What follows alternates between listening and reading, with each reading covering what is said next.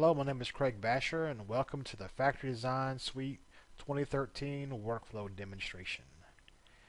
Our first workflow is going to be about how we would create assets, publishing our asset. So I do this with Autodesk Inventor.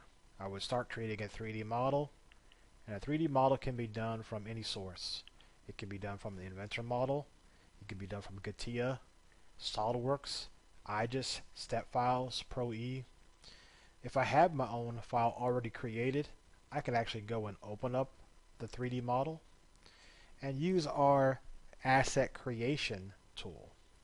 And inside the asset creation tool, I can go ahead and create a landing surface. This says that, that surface will sit on the factory floor.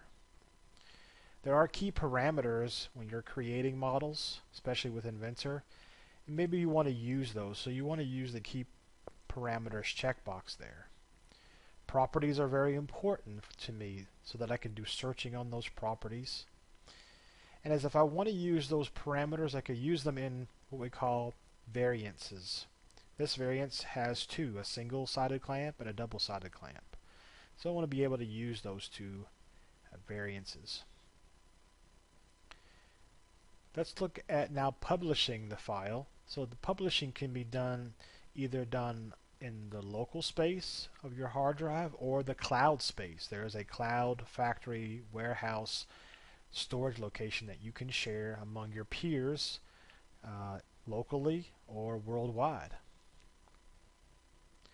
Our next workflow is going to deal with placing the assets. And we're going to reuse those assets in AutoCAD architecture. So a lot of legacy drawings are done in AutoCAD so what we're going to do is we're going to open up the main facility drawing. And facility drawings usually have external or X-referenced objects in them. So each area or each cell can be opened up and modified.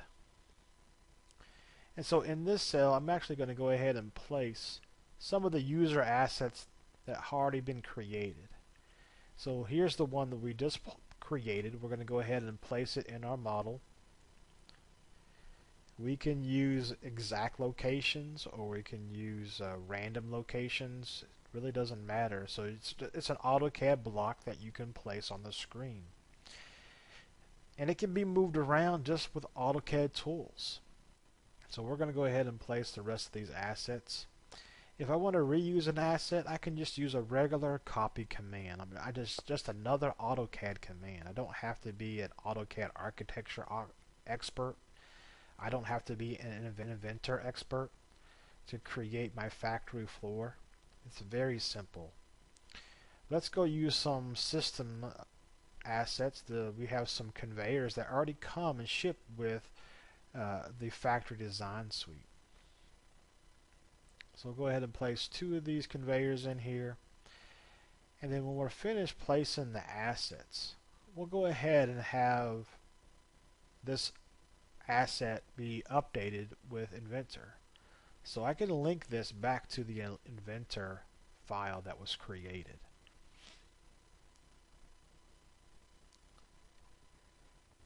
So now it's going to go ahead and automatically place the rest of those assets on the screen.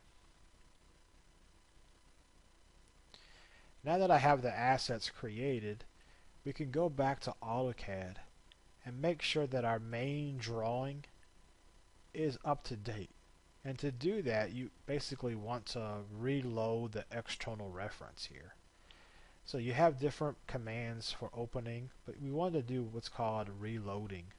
So we'll go to that cell and just reload it and it will update the main file. Our next workflow would be to edit those assets or reposition those assets with Inventor. So you could reposition with Inventor or AutoCAD. Now repositioning is has nothing to do with Inventor. It really has to do with clicking and dragging. Um, you don't have to understand constraining. You don't have to be that you know expert modeler to do this. There are tools that can help, reposition tool allows me to use basically a 3D gizmo to rotate and you can rotate on axis You can move on axis. You can move on a plane like an XY plane or an XZ plane or a YZ plane. So here I'm just going to pick on that plane and move it over to the right position.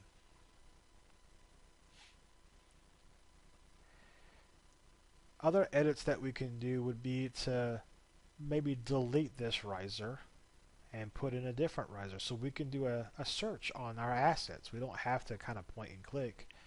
We can do a search and pick from the list here.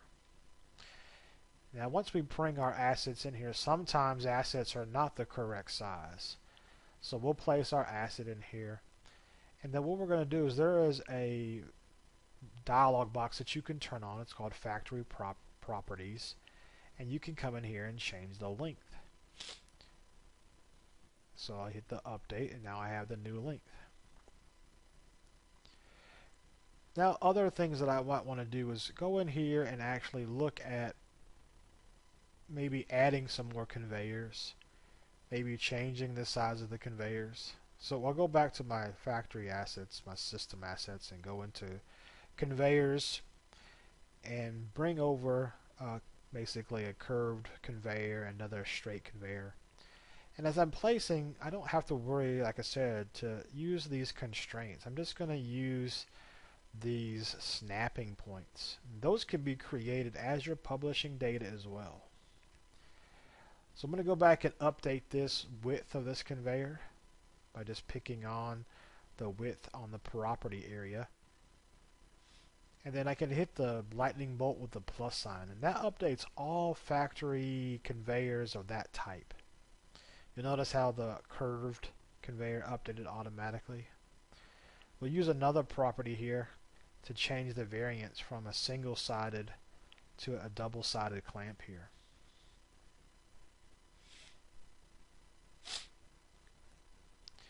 So there we have our assets change. So we repositioned them a little bit better and now what I can do is add other types of assets like our robots that we want to raise objects from the clamps or place things on the pl plant, plant clamps. Now that we have all our assets created, we always want to make sure that we're updating the AutoCAD drawing. So I use the sync to AutoCAD. And every changes that I made in the inventor model will update that AutoCAD file.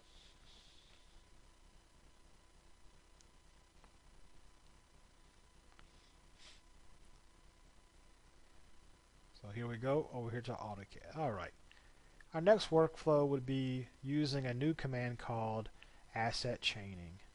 So there are times where you want to draw multiple conveyors or maybe safety fence or cable trays. You know, instead of drawing each asset or placing each asset one at a time, you'll find that some of these assets can be just drawn with or created with drawing a line.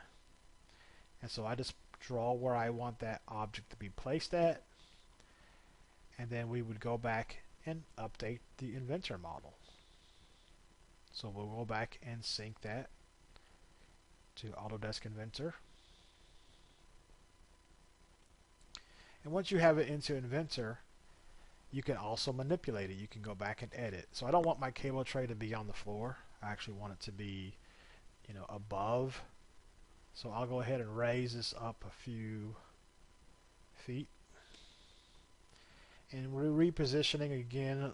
Remember that I can snap to the geometry with my little gizmo on the edge or I can pick on a point and then you can rotate it and you can move it. You know, as I move this first one here, it will move the others for me automatically.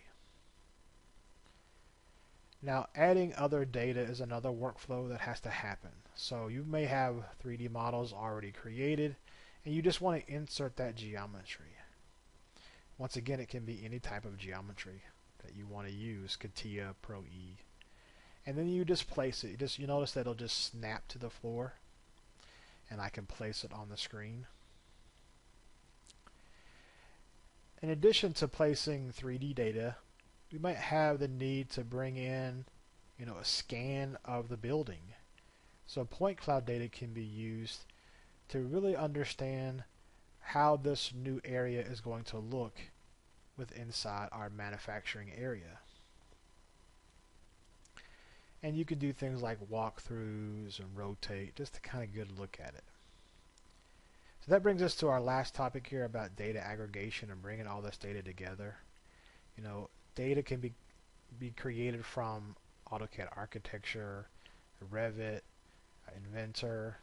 Uh, so being bring, being able to bring all that data into one software can cripple your hardware. But Autodesk Navisworks has the ability and the technology to allow me to do that. I also have the ability to do things like markups and create different viewports and do more of a construction review of what's happening. And I go ahead and I can go ahead and add that data that I created with Inventor, that new cell location. So we'll go ahead and open up and use that Inventor file that create that we created from the factory uh, AutoCAD architecture to Inventor and then now we're going to bring it back into Navisworks. Now with the Navisworks file updated with the new cell, we might want to take a look at how it interacts with the rest of the building. You know, so we can actually uh, reduce errors in our construction time by going through and making sure that there is no clashes or no interference. So clash detection is a big part of the construction, you know, and using the laser scans as well can be brought in as well. So we're going to do a clash detection between these two areas. And you notice that we have a red line. That means that there's probably a, a very large interference. So we can see it right there where the the air duct is actually interfering into the air, the water sprinklers there. Now I can select objects one at a time to make sure that we're not having interference on objects or we can do uh, a tree selection and the tree selection will allow me to go back to Inventor to make a change to the model so there won't be any interference so once again we'll actually change the asset properties of the air duct so that it no longer interferes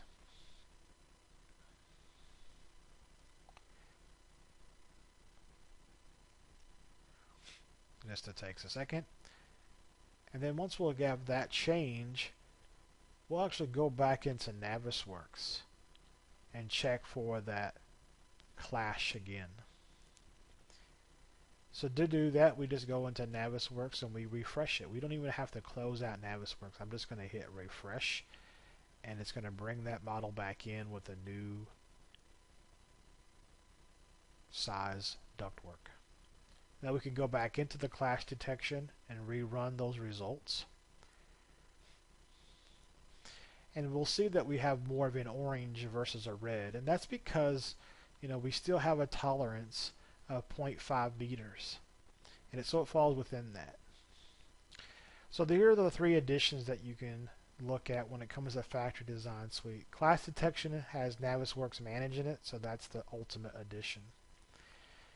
I want to say thanks for watching. If you have any more questions about Factory Design Suite, please call us here at Advanced Solutions. Thanks again.